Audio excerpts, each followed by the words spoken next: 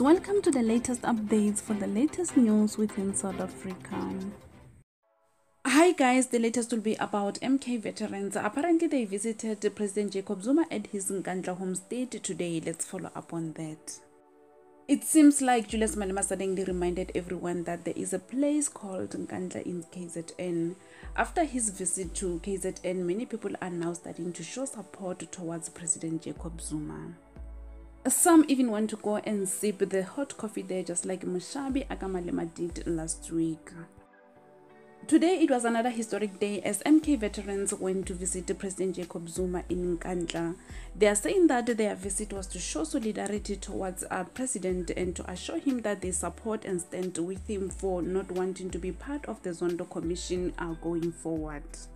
Someone on social media said at this rate people will end up infecting Msholozi with corona. Visit to Nkandla should not be allowed. That is what some of the people are saying on our social media platforms.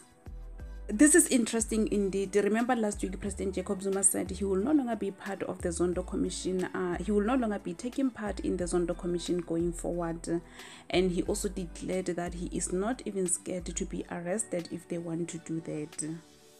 We'll wait and see how things will unfold as time goes on. That will be all from my side. In the next slide, I'll insert this clip with the volume. You may listen to them when they chant and sing.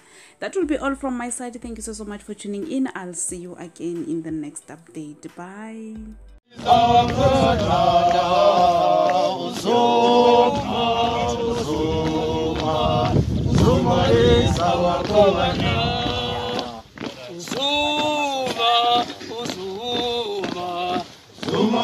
za wakomanya uzuma uzuma uzuma isa wakomanya utambo utambo. Utambo isa wakomanya utambo utambo.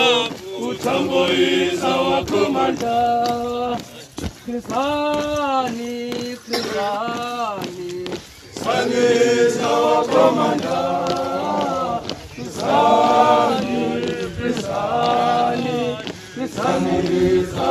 commander. We are marching.